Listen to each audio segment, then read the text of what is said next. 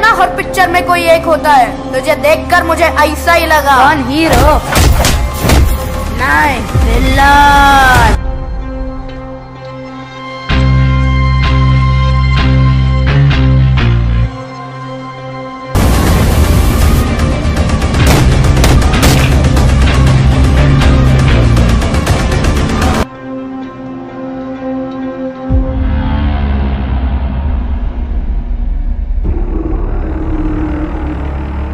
KGF chapter to में चंद minute के scene के लिए सुपरस्टार यश ने छह महीने तक शूटिंग क्यों की? क्या K G F two international level की फ़िल्म होगी? के जी एफ़ टू ने रिलीज़ से पहले कैसे बनाया रिकॉर्ड? और 2020 की सबसे मोस्ट अवेटेड फ़िल्म कैसे बन गई? मैं आपका स्वागत करता हूँ बॉलीग्राद के फिल्मी गलियारे में। के जी एफ़ चैप्टर टू के लिए सुपरस्टार यश ने काफ़ी तैयारियाँ की हैं। इस फ़िल्म में छह मिनट के सीन के लिए यश ने कई महीने तक ट्रेनिंग ली। वो अपने किरदार को बेस्ट बनाने के लिए काफ़ी मेहनत कर रहे हैं। साउथ सुपरस्टार यश अपनी फ़िल्म केजीएफ चैप्टर टू में व्यस्त है, जिसे देखने के लिए दर्शकों का उत्साह अपने चरम पर। चैप्टर वन को रॉकी के साथ राष्ट्रव्यापी दर्शकों द्वारा पसंद किया गया था, और अब दर्शक दूसरे चैप्टर के रिलीज़ का बेसब्री से इंतज़ार कर रहे हैं। और माना जा रहा है कि KGF chapter two international level की फ़िल्म होगी। क्योंकि इस फ़िल्म का जो क्लाइमेक्स है, एक बेहद संवेदनशील मुद्दे को केंद्र में रख करके लिखा गया है। यश अपने परिवार को समय देने और पारिवारिक फ़ंक्शन में शरीक होने से कभी चूकते नहीं है। यश इस किरदार के लिए खुद को बहुत सख्ती से तैयार कर रहे हैं और हमेशा अपने प्रोजेक्ट के साथ यादगार परफॉर्मेंस देते आए हैं। अभिनेता अपनी शूटिंग के बारे में जितना संजीदा है कि केवल 10 मिनट के सीन के लिए भी अभिनेता ने 6 महीने के लिए ट्रेनिंग ली थी।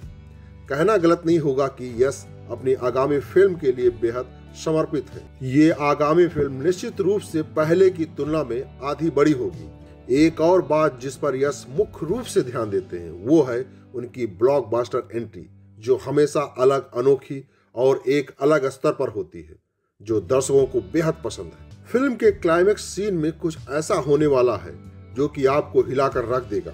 क्योंकि संजय दत्त और यश का फेस ऑफ़ काफ़ी धमाकेदार साबित होने वाला है। इस सीन में संजय दत्त और यश दोनों शर्टलेस होंगे।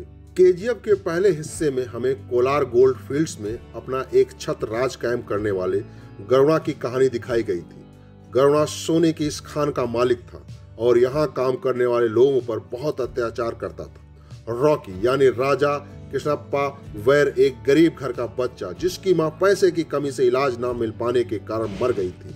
लेकिन उसने मरते समय अपने बेटे से वचन लिया था कि वो बड़ा होकर बहुत ताकत और पैसा कमाएगा। रॉकी इन्हीं चीज़ों की तलाश में मुंबई आया और जल्द ही रॉकी भाई नाम का एक डॉन बन गया। उसका बड़ा होता नाम देख कोलार खान को हथियाने के लालची लोग उसे गरुणा को मारने के लिए सुपाई देते हैं। पहली बारी में फेल होने के बाद रॉकी गरुणा को उसके गढ़ में, यानी खान में ही मारने का प्लान बनाता है और मार भी देता है। पहले फ़िल्म यही खत्म हो गई। अधीरा गरुणा का चाचा है। सोने की खान के मालिक शूरवर्धन ने अधीरा को नजरअंदाज कर अपनी बीमारी के बाद खान को संभालने की ज़िम्मेदारी गरुणा को सौंप देता है। इस बात से अधीरा नाराज़ था। फ़िल्म के पहले हिस्से में अधीरा का कई जगह ज़िक्र आता है। जिसमें उसे बहुत ताकतवर और क्रूर बताया जाता है।